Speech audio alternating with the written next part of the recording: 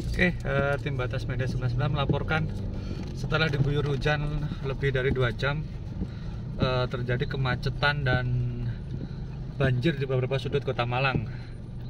Eh, Rekan-rekan semua harap berhati-hati. Tadi kami dari arah eh, Kasin menuju ke arah Sukun itu sudah mulai dari lampu merah Kasin tadi sudah macet. Eh, saya perlihatkan ini yang ke arah ke utara. Nah, ini yang ke arah ke selatan. Semuanya macet sahabat semua. Benar-benar kondisinya stagnan. Ya kondisinya parah ini sore ini karena tadi diguyur hujan mulai dari jam 2 siang tadi sampai sekarang sudah pukul 5 sore masih belum reda. Jadi beberapa sudut kota Malang terpantau sangat macet. Nah kita bisa lihat. Tadi dari arah utara menuju ke selatan sudah mulai dari perempatan Kasin sudah tidak bergerak sahabat semua.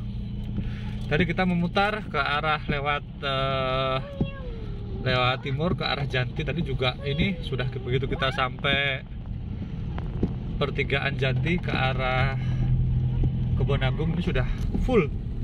Yang dari arah selatan mau ke arah utara sudah sama sekali tidak bergerak sahabat. Kalian bisa saksikan kembali kami himbau eh, untuk semua sahabat agar berhati-hati karena curah hujan intensitasnya sangat tinggi. Nah, dan ini kita sudah sampai di Kelayatan Gang 2 masih tidak bergerak.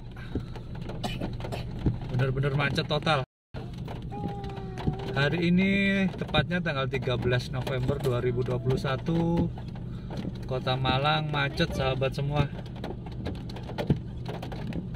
dari Kota Malang, tim Batas Media 99 melaporkan.